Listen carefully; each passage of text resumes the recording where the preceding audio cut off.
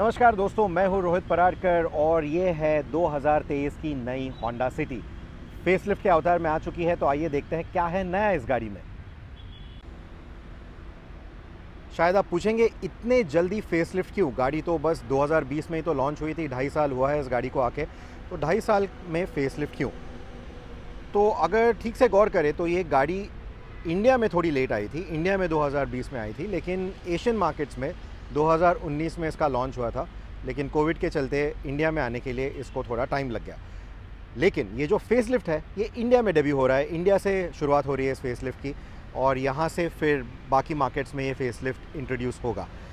तो फेसलिफ्ट में क्या नई चीज़ें हैं, आइए देखते हैं। सबसे पहले तो है इस गाड़ी का कलर ये जो नया ब्लू कलर आप देख रहे हो debuts for the first time in India ये कलर आ, बाकी होंडा सिटी के जनरेशन में भी अवेलेबल था आ, इससे मिलता जुलता ब्लू कलर लेकिन इंडिया में वो इंट्रोड्यूस नहीं हुआ था। इंडिया में पहली बार ये वाला नीला रंग आ रहा है।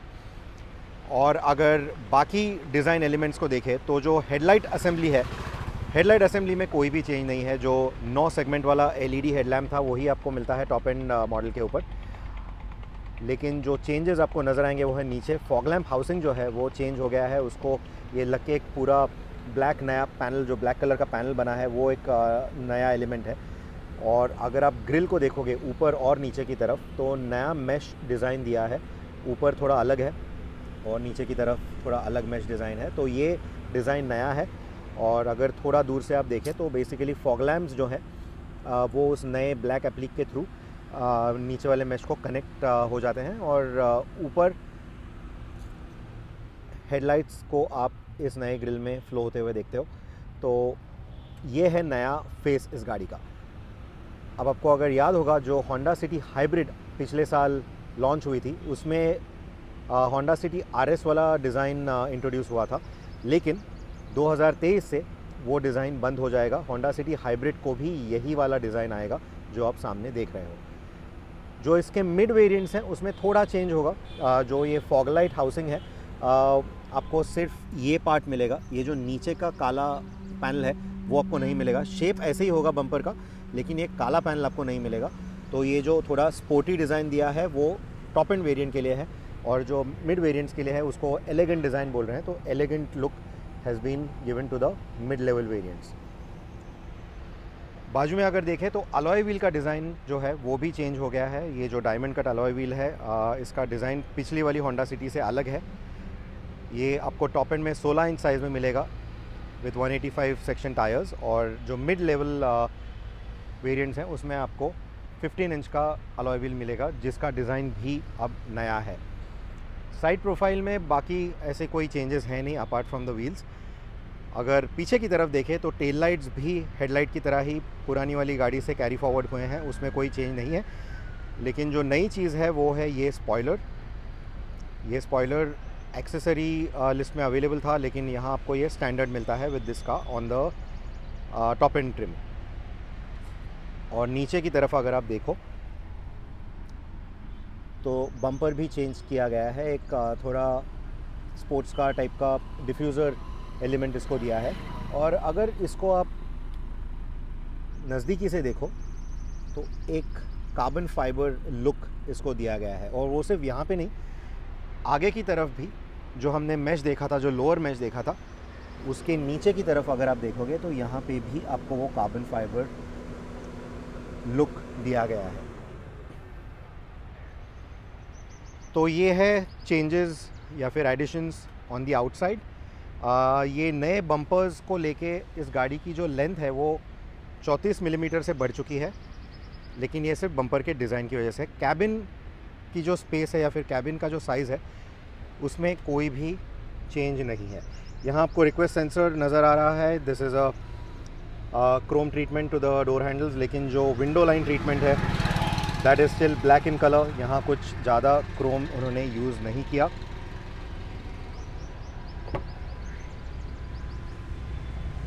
डोर पैड्स में भी कोई चेंज नहीं है। जो जो स्टोरेज स्पेस वगैरह है, उसमें भी कोई चेंज नहीं है। जो अपोल्स्ट्री है, उसमें भी कोई चेंज नहीं है, आपको यही परफोरेटेड अपोल्स्ट्री मिलती है लेदर अपोल्स्ट्री है। और जो हेडरेस हमें पिछली वाली होंडा सिटी में पसंद आए थे, वही हेडरेस इसमें भी कंटिन्यू होते हैं। पीछे की तरफ़ भी आपको तीन हेडरेस मिलते हैं, जो फिक्स्ड हैं। They are still not adjustable upholstery में, वापस कोई चेंज नहीं, ना ही कोई चेंज है स्पेस में। यहाँ जो दो पॉकेट्स हैं ये भी हमने देखा था कि दे हैव एडिशनल कंपार्टमेंट्स तो उसमें भी कोई चेंज नहीं है। और कोई चेंज की शायद ज़रूरत थी भी नहीं। आ, पीछे की तरफ़ आपको दो एसी वेंट्स मिलते हैं। You will also get two charging sockets दोनों 12 वोल्ट के चार्जिंग सॉकेट्स हैं। और चार्जिंग सॉकेट्स की जो बात हो रही है उसमें आप अगर आगे की तरफ़ देखोगे तो यहाँ पे आपको थोड़ा चेंज नज़र आएगा। तो ये पेट्रोल वेरिएंट है। यहाँ पे आपको ये वायरलेस चार्जिंग पैड नज़र आता है। हाइब्रिड वेरिएंट में यही वायरलेस चार्जिंग पैड यहाँ की तरफ़ प्लेस्ड है। This pad essentially becomes a wireless charging pad थोड़ा मोटा है वो आ, ताकि बड़े प्लस साइज़ फ़ोन जो है वहाँ पे फिट हो जाए। आ, लेकिन रेगुलर पेट्रोल वेरिएंट में आपको ये यहाँ पे मिलते हैं because of the way the tunnel console has been design तो कप होल्डर्स कहाँ गए? Okay so the cup holders are right underneath this यहाँ से आप इस 12 वोल्ट चार्जर को निकाल के you can just remove the entire wireless charging element और आपके कप होल्डर्स रिवील हो जाएँगे। और ये जो वायरलेस चार्जर है, वो एकदम ठीक से इसमें फिट हो जाता है। सो नो प्रॉब्लम देर सो जब आपको कप होल्डर्स की ज़रूरत हो तो आप वायरलेस चार्जर को निकाल सकते हैं। क्या लगता है आपको इस अरेंजमेंट के बारे में? प्लीज़ लेट मी नो जो यू पोर्ट्स हैं, आपको यू एस ए पोर्ट से मिलते हैं, पिछले वाली होंडा सिटी की तरह। तो ये जो पूरा क्लस्टर है दैट इज़ अनचेंज्ड ये जो शेल्फ है वो भी अनचेंज है। तो in terms of this design और लेआउट एवरीथिंग रिमेन्स अनचेंज आपको यहाँ पे वुड फिनिश मिलता है होंडा सिटी पेट्रोल में और हाइब्रिड में। आपको एक कार्बन फिनिश मिलता है। जैसे हमने बाहर की तरफ़ देखा, वैसा वाला एक कार्बन फिनिश आपको यहाँ पे मिलेगा थोड़ा वो स्पोर्टी एलिमेंट इस्टेब्लिश करने के लिए। जो इन्फोटेनमेंट है वो भी पुरानी वाली गाड़ी की तरह एट इंच वाला इन्फोटेनमेंट है। लेकिन इसका जो ओवरऑल रेजोल्यूशन है दैट हैज़ बीन इम्प्रूव्ड और रिवर्स अगर मैं डाल दूँ तो यू विल सी कि रिवर्स कैमरा का जो रेजोल्यूशन है उसको भी उन्होंने एनहांस किया है। इसमें आपको दो व्यूज़ पॉसिबल है एक wide view and one top view लेकिन आपको इसमें डायनामिक गाइडलाइंस नहीं मिलते। I am moving the steering now the guidelines remain fix तो वो आपको इसमें नहीं मिलता। In terms of the functionality of the infotainment यहाँ कुछ चेंजेस नहीं है लेकिन uh, एक जो एडिशनल फीचर है वो है कि जो एंड्रॉयड ऑटो और एप्पल कापले था, वो अभी वायरलेसली अवेलेबल है बिकॉज़ आपको दोनों वेरिएंट्स में वायरलेस चार्जिंग पैड्स मिल रहे हैं। So if you have a new generation phone you can use wireless charging as well as wireless Apple CarPlay और एंड्रॉयड ऑटो तो ये इसमें एक नया एडिशन होंडा ने किया है। अगर ऊपर की तरफ़ देखें तो even the rearview mirror is now a frameless design और अगर उसके पीछे की तरफ़ देखें तो ये जो एलिमेंट है पूरा this is now coming from the hybrid जिसका मतलब ये है कि इसके अंदर रेडर्स और कैमरा लगा हुआ है। एक बार बाहर से भी आपको दिखा देता हूँ। वॉट दैट मीन्स इज़ कि होंडा सिटी हाइब्रिड की तरह इस गाड़ी में भी आपको होंडा का सेंसिंग एडैस सेफ्टी सेट मिलता है। तो you will see this wide angle camera and the radars तो इसके चलते अभी आपको होंडा सिटी पेट्रोल के अंदर भी एडैस फंक्शनैलिटी मिलती है। And the good news is कि आपने ब्रोशर में देखा होगा, सिर्फ़ एस वेरिएंट जो है, जो नया एक वेरिएंट इंट्रोड्यूस किया है S variant which is now the lowest variant पहले वी से चालू होता था, अभी S is the new base variant जो eleven point eleven point four nine lakh से चालू हो रहा है एक शोरूम तो उन्होंने जो एंट्री पॉइंट है प्राइस की, वो कम कर दी है होंडा सिटी की, और वी वेरिएंट ऑनवर्ड्स आपको ये सेंसिंग ए डैश फंक्शनैलिटी मिलेगी। तो अगर हम यहाँ पे होम में जाके सेफ्टी सपोर्ट में जाए तो आप यहाँ पे देख सकते हो कि it is now giving you the ADAS functions तो एडैस फ़ंक्शंस क्या है वो भी देखते हैं। You have road departure mitigation तो अगर uh, मान लो कि रोड uh, में कोई कर्व है और आपकी गाड़ी uh, थोड़ी सी यू नो डिविएट हो रही है आपकी नज़र आपका ध्यान नहीं आपकी नज़र रोड पे नहीं है और गाड़ी थोड़ी डिविएट होने लगती है तो गाड़ी खुद से थोड़ा सा स्टीयरिंग इनपुट खुद से लगा के it will come back on in the middle of the lane similarly we also have the lane keep assist तो अगर लेन में गाड़ी आप बराबर uh, नहीं चला रहे हो थोड़ा सा डिविएट हो रहा है लेन से बाहर जा रहे हो तो ऑटोमेटिकली थोड़ा स्टीयरिंग इनपुट आ जाएगा and the vehicle will be in the centre of the lane तो वो आप यहाँ से lane keep assist on off कर सकते हो. This is the road departure mitigation उसी के नीचे कोलिजन मिटिगेशन ब्रेकिंग तो at certain speed slow speeds पे ऑटोमेटेड ब्रेकिंग भी करेगी गाड़ी so that is the other ADAS feature that you get and then there is adaptive cruise control as well यहाँ से अडेप्टिव क्रूज कंट्रोल चालू होगा। So it only comes on above thirty kilometres an hour और यहाँ से आप distance decide uh, कर सकते हो कि आपको कितना डिस्टेंस चाहिए। आप यहाँ पे देख सकते हो do you want to keep a very safe distance medium distance या एब्सोलूटली लो डिस्टेंस तो एकदम मतलब uh, सामने वाली गाड़ी को आपको चिपक के अगर ट्रैकिंग करना है या फिर you know adaptive cruise control चाहिए तो you can use that so sometimes we use that when we are shooting in a safe environment of course ये प्लीज़ पब्लिक रोड पर इतना क्लोज डिस्टेंस मत रखिएगा। हम लोग जब ऐसे कोई क्लोज रोड पर हम जब शूट करते हैं तो sometimes we use functions like this but please don't keep such a small distance if you are using adaptive cruise control अब हाइब्रिड में इसी अडेप्टिव क्रूज कंट्रोल का एक नया फीचर इन्होंने इंट्रोड्यूस किया है कि जैसे होंडा सिटी पेट्रोल में मैंने कहा कि 30 किलोमीटर स्पीड के ऊपर ही 30 के एमपीएच के ऊपर ही आ, ये क्रूज़ कंट्रोल काम करेगा adaptive cruise control in the hybrid आप उसको अप टू ज़ीरो मतलब फुल स्टैंड स्टैंड स्टिल से आप उसको चालू कर सकते हो। So it's a low speed assist it's a low speed follow assist तो basically bumper to bumper traffic jam वगैरह है, उसमें आप उसको लो स्पीड फॉलो असिस्ट पे डाल दो तो जैसे ही सामने की गाड़ी हिलेगी, आपकी गाड़ी ऑटोमेटिकली उसको फॉलो करेगी। So that's a that's a new feature that they have added but it's only available in the hybrid जो और एक फीचर इसमें है कि सामने की गाड़ी जैसे ही अगर मान लो आप रेड लाइट पे खड़े हो और आप फ़ोन पे बिज़ी हो या फिर आप इंफोटेनमेंट पे कुछ रेडियो चैनल वगैरह आपका रेडियो स्टेशन चेंज कर रहे हो। और सामने की गाड़ी अगर ग्रीन हो गया सिग्नल, सामने की गाड़ी निकल गई तो आपको यहाँ पे एक विजुअल एंड ऑडियो वार्निंग आ जाएगा कि सामने की गाड़ी निकल चुकी है and you can also continue ताकि पीछे के लोगों को दिक्कत ना हो, पीछे लोग हॉर्न बजाना ना चालू करें। All that will not happen so that is one more feature that they have added they will tell you कि सामने की गाड़ी निकल चुकी है। So that is another feature that is also again available on this as a part of the sensing kit तो जैसे मैंने कहा सेंसिंग आपको मिलता है सेकेंड वेरियंट ऑनवर्ड्स गाड़ी की जो प्राइसिंग है वो तीस से चालीस हज़ार रुपये बढ़ गई है compare to the older variants अगर वेरिएंट टू वेरिएंट कंपेयर करें तो। और जैसे मैंने कहा at the lower end you have the new S variant तो जो एक्सेसिबल पॉइंट है, जो एंट्री पॉइंट है इट इज़ मोर और less similar to the outgoing Honda City but now you have more features in the higher spec of the Honda City और the higher variants of the Honda City तो ये है सब changes इस गाड़ी में।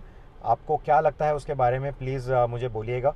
यहाँ डिस्प्ले में कुछ चेंज नहीं हुआ है। आप यहाँ से उसका डिस्प्ले का जो ब्राइटनेस है वो चेंज कर सकते हैं और अगर आप होम में जाके देखें तो there are different things that you can have on this side of the display ये एनालॉग स्पीडोमीटर आपको यहाँ पे मिलता है और ये जो डिस्प्ले एलिमेंट है उसमें आपको it's a full colour digital display और उसमें आप टेकोमीटर सेट कर सकते हो fuel computer speed and time G force meter safety support तो मैंने अभी आपको दिखाया which is the sensing settings में जाके आप अलग अलग सेटिंग्स चेंज कर सकते हो, जैसे क्लॉक या फिर गाड़ी के सेटिंग्स की डोर ओपन वार्निंग या फिर डोर ऑटो लॉक कब होना चाहिए या फिर यू नो डिफ्लेशन वार्निंग अगर आपकी गाड़ी में हवा थोड़ी कम है और आपको पता है और आपको कॉन्स्टेंटली वार्निंग नहीं चाहिए तो आप उसको भी ऑफ़ कर सकते हो. You can set up the clock over here driver assist system setup तो ये ड्राइवर असिस्ट में बेसिकली वो आपको बोलेगा कि जो सामने गाड़ी की गाड़ी की जो प्रॉक्सिमिटी डिस्टेंस है उसकी वार्निंग आपको मिलनी चाहिए कि नहीं। सिमिलरली uh, सामने की जो व्हीकल है व्हीकल हैड डिटेक्टेड बीप तो बेसिकली जब ये सामने की गाड़ी बहुत जल्द एकदम से स्लो हो गई या फिर आपके सामने सडनली कोई आ गया तो शायद आपका ध्यान ना हो तो it will just quickly give you a beep it will give you an audible warning to tell you so these kind of settings you can make changes to in the setting screen अगर और भी देखें तो you will see the meter setup इस meter का setup uh, कर सकते हो। उस पर आपको क्या क्या दिखाना है डिजिटल साइड पे। आपको ट्रिप कंप्यूटर चाहिए फ्यूल uh, डिस्प्ले चाहिए etcetera keyless access setup keyless access के साथ क्या क्या करना है? मतलब ऑटोमेटिकली लॉक होना चाहिए। कितने टाइम के बाद होना चाहिए? आप uh, गाड़ी से अगर चल के दूर चले जाओ uh, तो वो ऑटोमेटिकली लॉक करेगा। You know those kind of things can all be set over here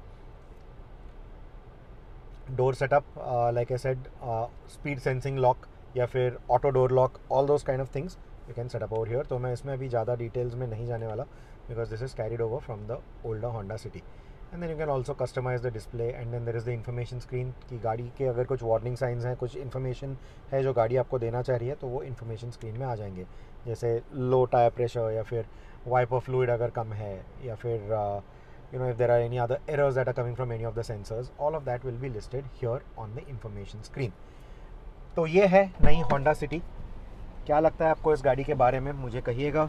इस कलर के बारे में आपको क्या लगता है वो भी मुझे कहिएगा। अगर आपको आज 2023 की होंडा सिटी ख़रीदनी होती तो आ, कौन सा कलर चूज़ करते आप? Would it be the blue would it be the red that we saw on the hybrid या फिर आप जो ट्रेडिशनल सेफ़ कलर्स हैं, ब्लैक, वाइट, ग्रे, उसमें से कुछ चॉइस करेंगे। आपको इस गाड़ी के चेंजेस के बारे में क्या लगता है? All the new changes that we saw on the front end the rear उसके बारे में क्या लगता है? नए व्हील्स का डिज़ाइन कैसे लगता है? सब बोलिएगा मुझे। ये गाड़ी मैं चला रहा हूँ फ़िलहाल दिल्ली में। ग्यारह मार्च को सॉरी नौ मार्च को ग्यारह बजे हम लोग इसका रिव्यू पब्लिश करेंगे on YouTube dot com slash O D mag O drive channel पर इसका रिव्यू आएगा। तो डेफिनेटली उसको देखिएगा। लेकिन इन द मीन टाइम अगर आपके कोई भी सवाल है इस गाड़ी के बारे में प्लीज़ कमेंट सेक्शन में डालिएगा। इस गाड़ी से डीजल इंजन निकल चुका है। You only have the petrol and the hybrid now diesel engine को बंद कर दिया है क्योंकि Bharat stage six phase two norms अब आ चुके हैं। तो काफ़ी स्ट्रिंजेंट नॉर्म्स हैं। उसमें अगर डीजल इंजन को B S six phase two के लिए कंप्लाइंट बनाना होता तो काफ़ी महँगा हो जाता डीजल इंजन डीजल वेरिएंट्स काफ़ी महँगे हो जाते। तो इसीलिए उन्होंने उसको निकाल दिया है। उन्होंने क्या किया है कि हाइब्रिड जो थी जो सिर्फ़ जेड एक्स वेरियंट पर अवेलेबल थी वो अब वी वेरिएंट में भी अवेलेबल है which is the second variant from the bottom तो उसमें भी वो अभी अवेलेबल है which start at a little over 18 lakh rupees ex showroom तो वो वेरिएंट बेसिकली uh, उसका डीजल uh, का जो स्पेस है उसको फिल करना चाह रहा है। तो क्या आपको लगता है इस पूरे स्ट्रैटेजी के बारे में and the diesel going out या आपके कुछ सवाल हैं अबाउट द पेट्रोल और the hybrid please let me know tuning में कोई चेंज नहीं है पेट्रोल और हाइब्रिड के. Everything is exactly the same थोड़ा कैलिब्रेशन चेंज है in terms of the testing from A R A तो इसके लिए हाइब्रिड की जो फ्यूल इकोनॉमी फिगर है वो थोड़ी बढ़ गई है. Only the claim fuel economy figure but Honda ने ट्यूनिंग चेंजेस कुछ नहीं किए. टेस्टिंग के पैरामीटर्स में कुछ चेंज आ गया है तो उसकी वजह से uh, थोड़ी हायर फ्यूल इकोनॉमी दिखा रही है हाइब्रिड के लिए. But that's the only difference लेकिन जैसे मैंने कहा, कोई भी सवाल हो प्लीज़ उसको डालिएगा कमेंट सेक्शन में and I will try to answer them as soon as possible thank you so much for watching this video अगर आपने इस चैनल को या ओडरे को सब्सक्राइब नहीं किया है तो प्लीज़ सब्सक्राइब कीजिएगा। इस वीडियो को शेयर भी कीजिएगा अगर हो सके तो। और इस रिव्यू को 9 मार्च को ओवर ड्राइव चैनल पे चेकआउट कीजिएगा। उसकी लिंक मैं डिस्क्रिप्शन में डाल दूँगा, जैसे ही वीडियो लाइव हो जाएगा। Thank you so much for watching